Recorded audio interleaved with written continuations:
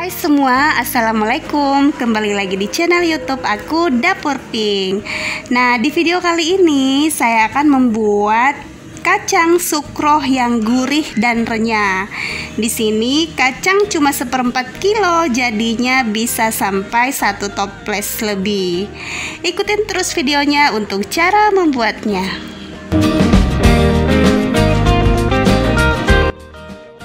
Pertama, kita siapkan 250 gram kacang tanah.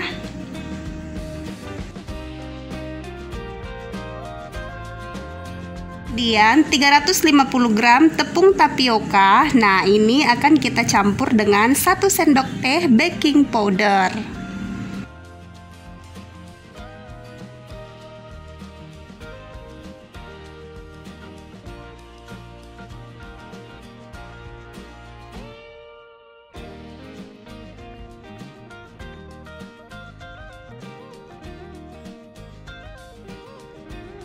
Kemudian bumbunya di sini siapkan 5 siung bawang putih. Ini saya sudah haluskan. Dan kita akan didihkan air 200 ml, masukkan bumbu yang dihaluskan yaitu bawang putih. Kemudian tambahkan 1 sendok teh kaldu bubuk. Kemudian tambahkan 1 sendok makan gula pasir dan garam secukupnya Kemudian tambahkan seperdua sendok makan tepung tapioka.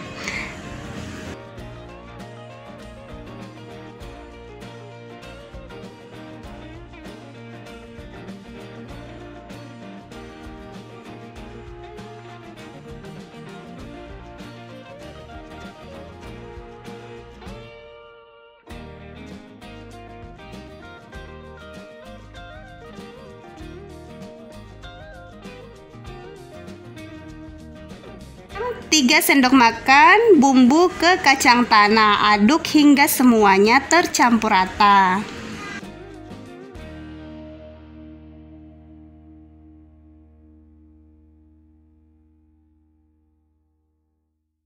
Kita balur dengan tepung tapioka yang sudah dicampur dengan baking powder.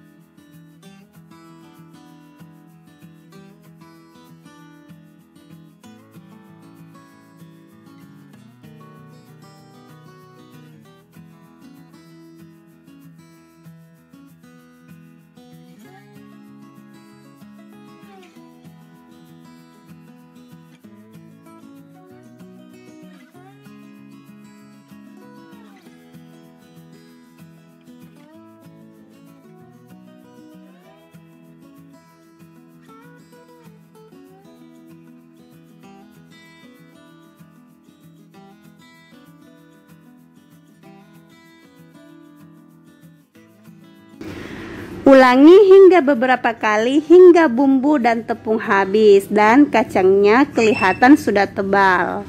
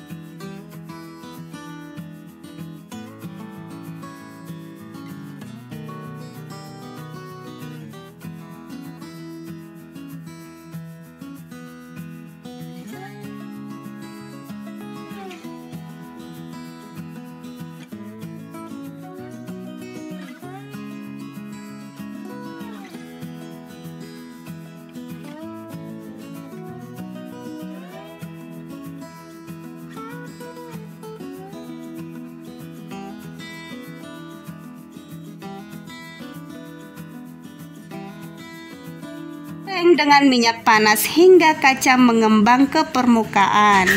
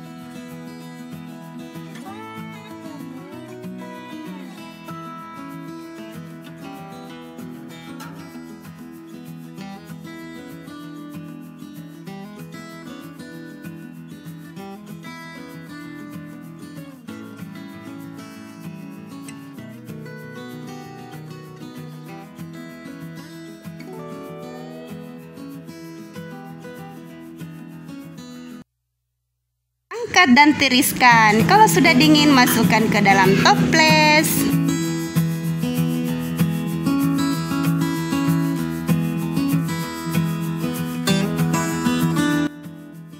Dapur Pink, selamat mencoba. Semoga bermanfaat dan ini menjadi referensi untuk cemilan lebaran.